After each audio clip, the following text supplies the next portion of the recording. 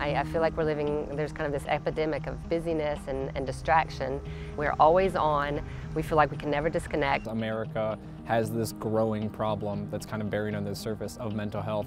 George Mason as a university has been uh, invested in well-being related initiatives for some time now and has recently made what we think is a pretty special move and literally written in well-being as a key strategic goal for the university to become the country's first well-being university. We really get to make a statement to the world that this is who we want to be. It's a 10-year initiative to incorporate well-being into the whole university. This is powerful stuff because it's all actionable. Individuals can make certain decisions in their daily actions to either increase their well-being or decrease it. So little by little, I think we've been able to put some detail into what it is uh, to, to have a good, positive, happy life.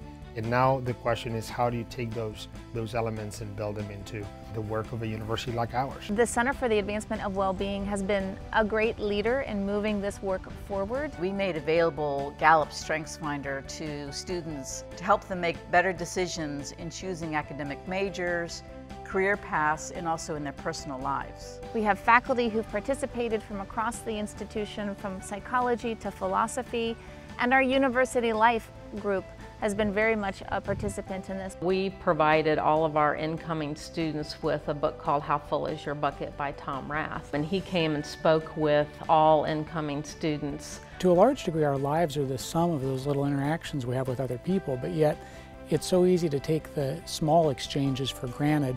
Each of us has an individual focus and a different purpose at the university. Here's something that really brings us together. We actually did a mindfulness, acceptance, commitment intervention with some of our teams here on campus. We have community bonding activities centered around mindfulness, which is in essence experiencing all that life has to offer. Instead of trying to be happy, cultivate an attitude of openness and curiosity in the present moment. Every single moment of your life You'll grow, you'll discover new things, and every once in a while discover something that will lead to happiness on the way of being curious. The more time you spend pursuing meaning for yourself and for other people in your community, the more well-being you get in parallel.